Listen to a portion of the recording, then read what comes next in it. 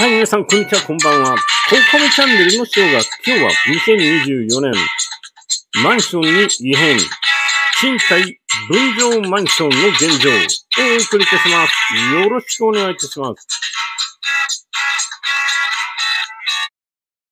2024年、分譲マンション、賃貸マンションに異変が起き始めました。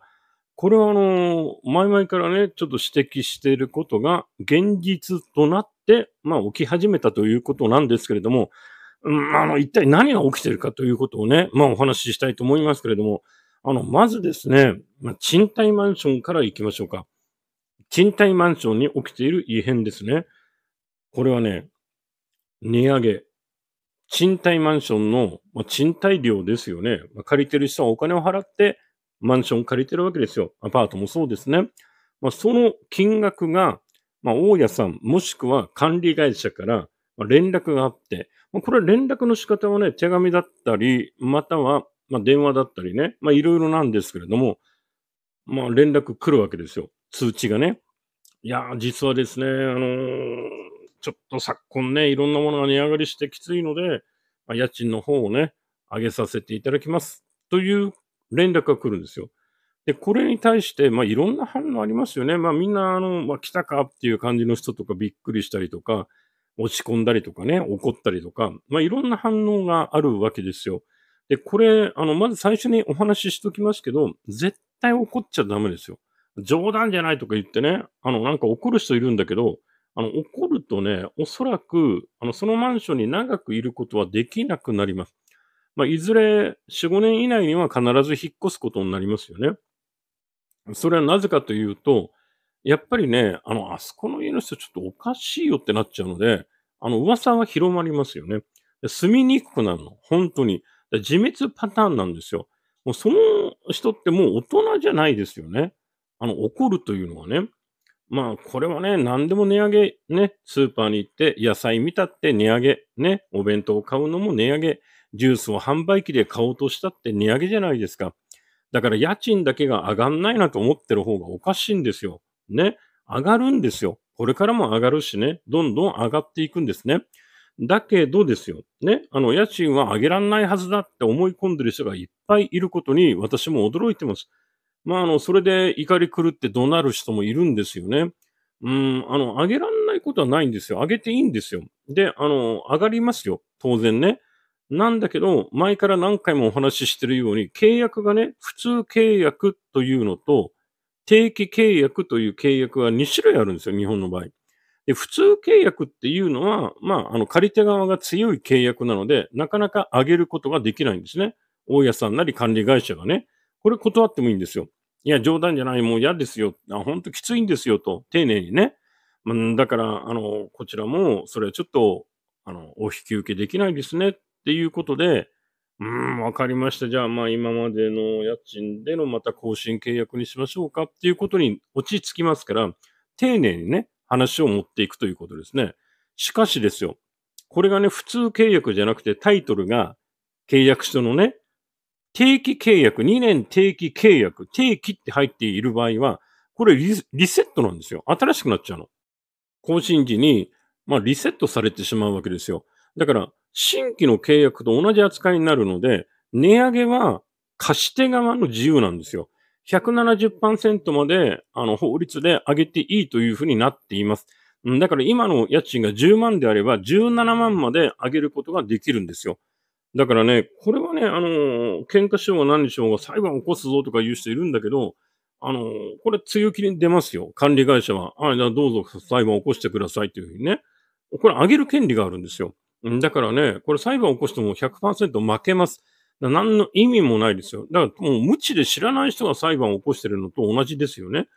うん、だからね、これあの、賃貸もちゃんと見ないといけない。まあそういう、まあ値上げの通知が来る。まあこれはあの、大きな異変の一つですよね。賃貸の。さらに管理費。まあこちらの方を上げさせていただきます。結局、先ほどのね、あの契約書のタイトルのお話ししましたけれども、これ普通契約ってなったら上げにくい、上げらんないので、あの、管理費とかね、他のものを上げてくるんですよ。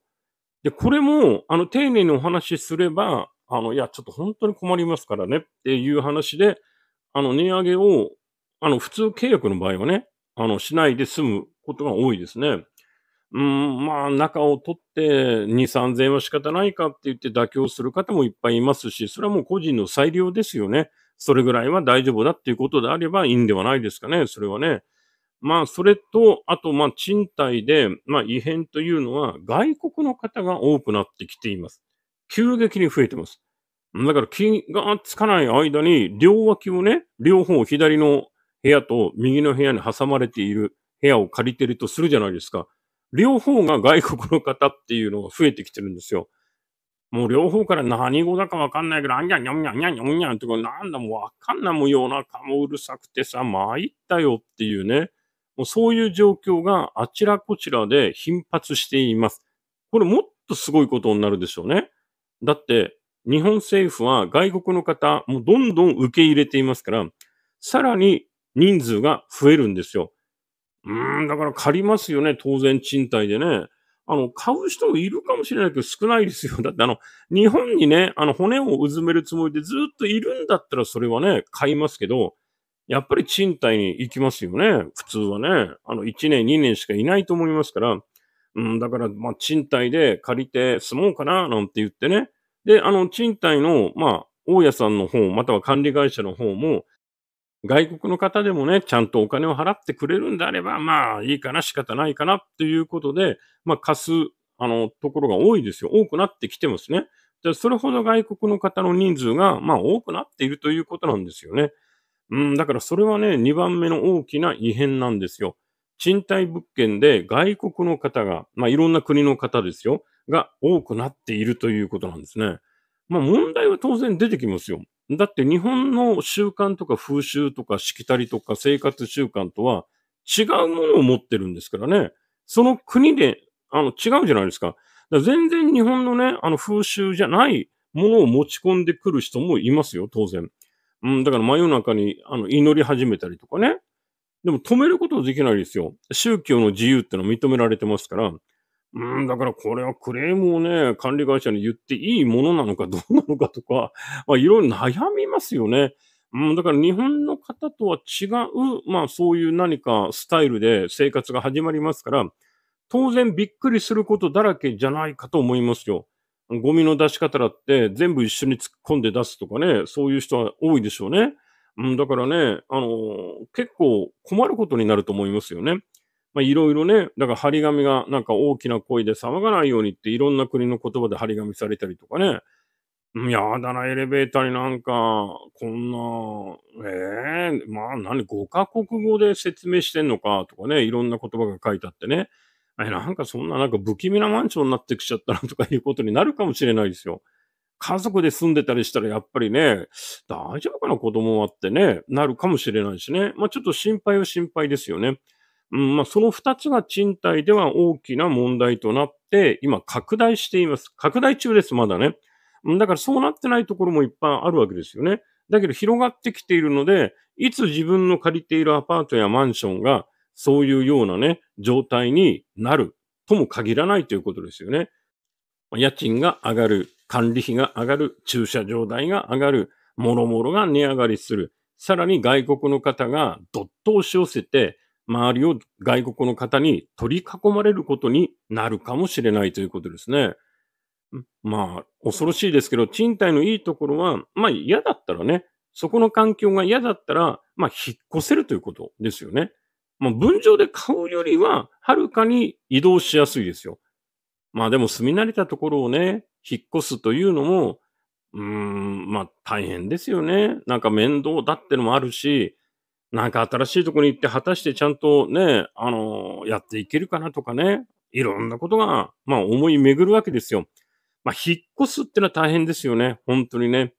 まあ私のね、あの話違いますけど、母方の、まあおばあちゃん、私のおばあちゃんね、母方の方の。本当に引っ越すのが大好きだった人なんですよ。ものすごい引っ越ししてましたよ。恐ろしいぐらいね。あの、1年間にね、3回引っ越したこととかありましたよ。すごいですよね。まあ、人生においては30何回引っ越してるって言ってましたかね。40回近いと思うんですけども。いや、なんでそんなに引っ越すのかま。誰もわからない。もうみんなね、不思議がってました。で、今度こそいいって言ってね、あ、言うんですよ、最初。引っ越したばかりの時ね。あ、今度こそ私はここにずっといるわって。最初。いいところねって。でもね、3ヶ月もすると、やっぱりなんか他のとこがいいんじゃないかしらって言いたい。いや、本当に。なんでだかよくわかんないですけど、すっごい引っ越してましたよ。だからね、お金がなかったですよ。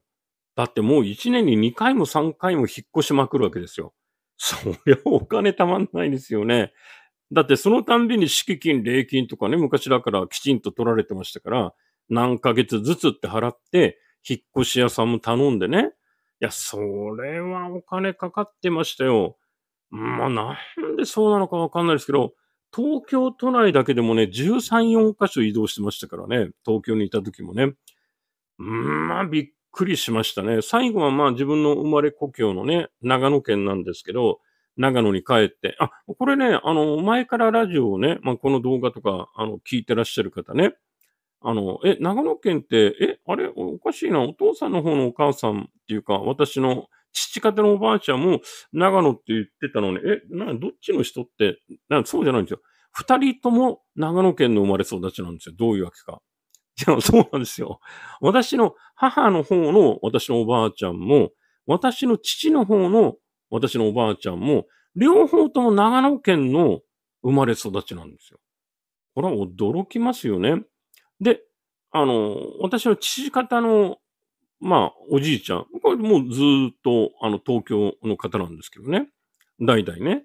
で、一回ね、あの、新潟に親戚がいてね、で新潟に一回ちょっと移って住んだりしたことあるんですけど、まあ、あの、東京にずっと住んでたんですよ。うん、だけど、おばあちゃんのその女性の方はみんな長野なんですよね。まあ、偶然なのか何なのかね、わかんないですけど、だから長野に縁があるんですよ。まあ、あの、何回も言ってますけどもね、いいとこですよね。すごくね、山並みが綺麗で。うん、あの、素敵なとこですよ。すごくね。そうなんですよね。だからね、まあ、ね、あの、引っ越すって言っても大変ですよね。だから賃貸でね、いろいろ問題が起きても、まあ、簡単ではないですよね。引っ越しをするっていうのはね。まあ、お金もかかるし、引っ越し業者に頼んで、またね、なんか包んだりした箱に入れて、まあ、全部やってくれるコースもあるけれども、結局、やっぱりそっち、こう、引っ越し先に持って行ってもらった場合には、自分でね、なんかセッティングとかやっぱしないといけないじゃないですかね。うん、だから結構時間もかかるしね、なんか労力を使いますよ、エネルギーをね。うん、まあそんな賃貸の、まあ大きい変化二つ。さて、後半はですね、分譲マンションの大きい変化に入りたいと思います。こっちはでかいですよ、変化は。いや、もうね、賃貸の方がやっぱり気が楽だなと思いますよ。おそらく。これね、今現状で分譲マンションにもうすでに住んでらっしゃる方いっぱいいると思うんですよ。で、分譲マンションに住んでる方は、まず住んでる方の経済状況って二通りあると思うんですよ。マンションに関してね。まあ、まず、お金を借りて、そのマンションを買ったという人が圧倒的に多いでしょう。9割ぐらいはそうですよね。あとの10%の方は現金で買ったと。で、現金で買った人は、まあ、あの、返済がないわけですから、まあ、負担の、もう、あの、度合いが違いますよね。やっぱり、あの、30年、35年とかでローン組んで、毎月返済してる人は、その返済のお金が負担なんですよ。になるんです。余計になります、これから。まあ、金利が上がるというのが、まあ、一番目の大きな変化ですね。まあ、日銀が政策をね、方向転換して、金利を上げるというふうに言い始めました。金利は必ず上がります。今安すぎますからありえないんですよ。世界的に見てもおかしな金利なんですね。必ず上がっていきます。その時に、まあ、0.5%、0.5%とかね、まあそんな感じで上がっていくんだと思うんですよ。少ない時は0.25%とかね、それぐらいで。しかし、すぐに1%ぐらいになってしまう。うん。で、2%、3%とね。まあ5%ぐらいまではいきますよね。まあ時間かかりますけどね。で、その5%ぐらいになった時に、返済するお金が全然違うんですよ。びっくりしますよ。だから今、あの、7万円ぐらいを、ちょうど7万円を毎月ね、返済してる方は、まあ、10万円を超えちゃいますね、5%になるとね。まあ、あの、10万から12万の間で、まあ、だから何年返済とか頭金いくら売ってるということで違うんですよ。借りてる金額によってね。うん。あとは、だからあの、パーセンテージがね、上がってはいきますよ。金利のね。で、5%、4%から5%になった場合には、まあまあ、本当に7万円ずつ返してる人は10万を超えます。間違いなく。10万から12万円のどこら辺かになるんでしょうね、きっと。まあ、高い人は12万4千円とかね、それぐらいまで行きますよ。うん、だから、それがね、すっごい大変だと思います。毎月のことなので。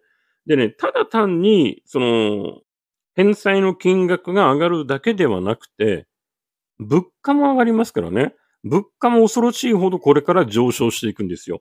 食料品も子供がいれば、子供の学校に関する、まあ、備品だとか、いろんなものですよね。あと塾のお金とかね、洋服代とか靴とかね、もうあらゆるものお金かかるじゃないですか。そういうものがどんどん上がっていく中での返済額の、まあ、上昇になるんですよ。これきついですよ。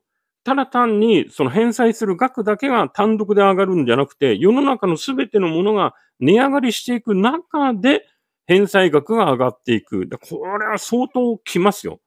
本当に。あの、給料がね、お給料収入が、それよりも、それは割合的な上がれば問題ないですけど、おそらく日本はそういうことはないでしょうから、ただ単に支出だけね、支払いの方の合計額だけが上がっていくんですよ。これは困った事態になりますよね。間違いなくね。うん。まあ、あの、分譲マンションをね、側近で全部買って、払って買った人は問題ないんですよ。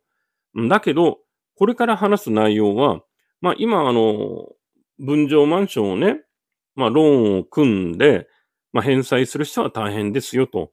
まあこれは、まあ現金でバーンと買ってしまった人にはあんまり関係ないですよね。しかし、これから話すことは関係あります。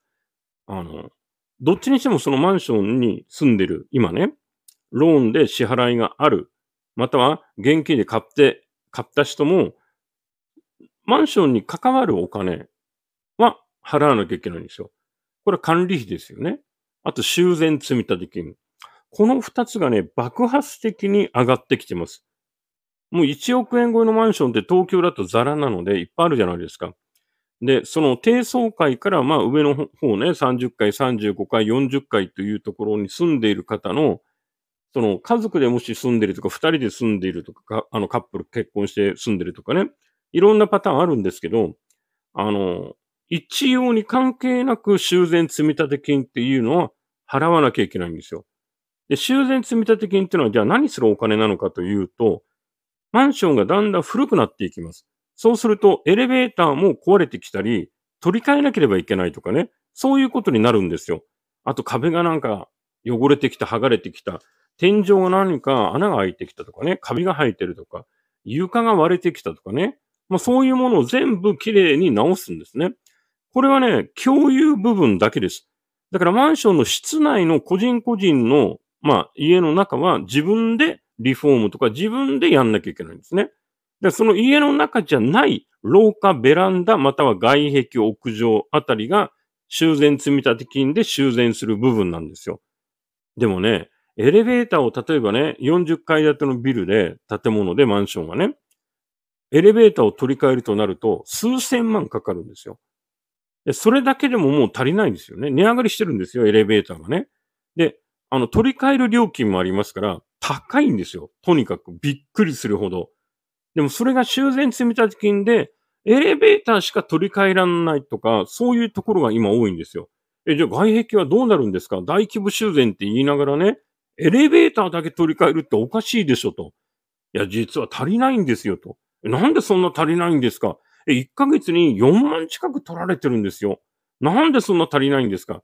いや、昨今いろいろ値上がりしてね、あの資材とか部材が値上がりして、見積もりをね、出してもらったんだけど、あの、このマンション、40階建てのマンションの、まあ、エレベーター取り替えると、そして、まあ、外壁やり替えると、であとは廊下とか、まあ、内側の廊下の壁も、内壁もそうだよね。あと天井ね。あと庭みたいのあるでしょ？中庭みたいなの。あそこの整備とか、まあ、いろんなことをやってもらおうと思ってね。まあ、修繕するための見積もりを出してもらったんだよ。そしたらね、これ今配りますよ。これなんですよ。あ、は、はい。え、っと、これな、何ですか？これは。修繕の合計額が一番上に書いてある金額ですよ。7億2千万ですか？これ。そうですよ。7億？はい。7億もかかるんですか？大規模修繕にこのマンションって。かかりますね。ええー、で、今いくらあるんですか？修繕積立金は。えーと、待ってくださいね。えーと、今は、えー、1億1000万ですね。え、全然足りないじゃないですか。全然足りないんですよ。いやいやいやいや、おかしいでしょ。いや、おかしくないですね。あの、値上がりがそれだけ激しいんですよ。えー、?7 億ですよそうですね。え、こ、えー、えー、こんなに、そんなにするんですか？うん、大きいですからね、このマンションはね。わわわわ、7億？ああ、じゃあ、え、1億1000万しか貯まってないってことは、え、今4万もこうみんなが払ってて、それしか貯まってないってことは、ど、どう、どういうふうにすればいいんですか、じゃあ。これは計算してみたんですけどね、計算し直してみたんですけど、とりあえず4万円、まあまあ、だいたい4万としますよね。修繕積立金、毎月皆さんがね、お支払いして、まあ、それを貯めてるわけですよね。あの、組合の方で。で、このまんまじゃまあ無理なんですよ。で、これ修繕するのが、まあ、うちのマンション計画表があるんですけど、予定表が。8年後なんですよ。8年後に7億円ないといけないんですよね。今の状況だと。いや、もっと上がるかもしれないですけど、今、今、見積もりを出してもらっただけで7億ですから、とりあえず7億円がなければ、まあ、修繕全然お話にならないということなんですよ。だそのために、4万円ずつじゃダメなんですよね。8年間しかないので足りないんですよ。ああ、そうなんですね。で、いくら皆さんが払えばいいんですか？えーと、かなり世帯がいるので、あれですけど、まあ、8万5千円ぐらいになりますね。ん？修繕積立金今4万払ってるのを毎月8万5千になるんですか？そうですね。は、8万5千ですか ?8 万5千円。うわー、わうわうわうわ、8万5千円。毎月？毎月ですね。ああ、おい、これ一律ですか？これ一律です。皆さん同じ金額になりますよ。うわー、4万だった修繕積み立て8万5千円。そうじゃないともう全然やっていけないってことですか？全くやっていけない。これ、あの、修繕積立金で、あの、大規模修繕っていうのは、まあ、あの、他のね、いろんな東京、まあ、全国にマンションありますけれども、これ決まってるんですよ。あの、もう、予定が組み込まれていて、何年後にはこうしなきゃいけないとかね。で、これ法律上の問題もあるんですよ。あの、修繕をしなくて、もし外壁が落ちてね、ひび割れて落ちて、まあ、誰かに当たっちゃったと、小学生の子供とかたまたま登校しているね。そうすると、これあの管理組合が訴えられることになりますね。です管理が十分機能していないじゃないかと。で、管理組合が訴えられるということは、この住民、住んでる住民全員の責任になるということなんですよ。あまあ、法律でちゃんと修繕しなければいけないっていう決まりがあるってことなんですか？ありますね。だからそれは必ずやんないといけない。まあ、ちょっと遅れてってのはあるかもしれないけども、あの、大規模修繕はやんなければいけないんですよ。なるほど。なるほど。まあ、住んでる人だって、綺麗な方がいいでしょうからね。まあ、なるほど。なるほどね。うん。わかりました。8万5千円。まあ、さらにね、ちょっと申し上げにくいことがあるんですよ。まだあるんですか？あの、駐車場代なんですけど、今1万5千円という破格で毎月駐車場代をね、まあ、あの、支払っていただいて、そこに車を皆さん、まあ、全員じゃないですよね。あの、抽選で当たった方が、まあ、止められてるんですが、えっ、ー、と、これもまたね、ちょっと1万5千円ではもう、あの、こちらの管理の問題ですけど、やっていけないんですね。あの、やっぱこれは、あの、ちょっと値上げをしないといけなくなるんですよ。わあわあ、そう、それ、でも、え、それって値上げって、あの、だって、そこに見えている駐車場ですよね。で、全然お金なんかだってかかんないから値上げする必要ないじゃないですか。いや、そう違うんですね。あの、あの、駐車場代は、結局、駐車場の修繕っていうのは、この修繕積立金皆さんが払うのには入ってないんですよ。駐車場を使用されている方の駐車料金の積み重ねで駐車場の下のアスファルトとかをやり替えるんですよ。ああ、なるほどね。そっかそっか。っていうことは駐車場の部分っていうのはまた独立して、その駐車場を使っている人のお金で、徴収したお金で、そこをきれいにまた整備し直すっていうことなんですか？そうなんですよ。それが昨今の値上がりでね、あの駐車場代を上げざるを得ないんですよね。整備ができなくなってしまうんですよ。それはいくらぐらいになるんですか？うん、そうそうですね。あの、今いただいてるのは1万5千円の破格で東京ではちょっと安すぎるんですよ。えー、こちら3万5千円になりますね。わわわわ ちょっと待ってくださいよ。3万5千円 ?1 万5千円、今1万5千円払ってるのが3万5千円になるんですか？いや、倍以上じゃないですか。え、じゃあちょっと待って待って。えうんと、修繕積立金が4万円ぐらいのが今、えっと、話では、今の話では8万5千円になるんですよね。倍ぐらい。まあ、倍以上だ。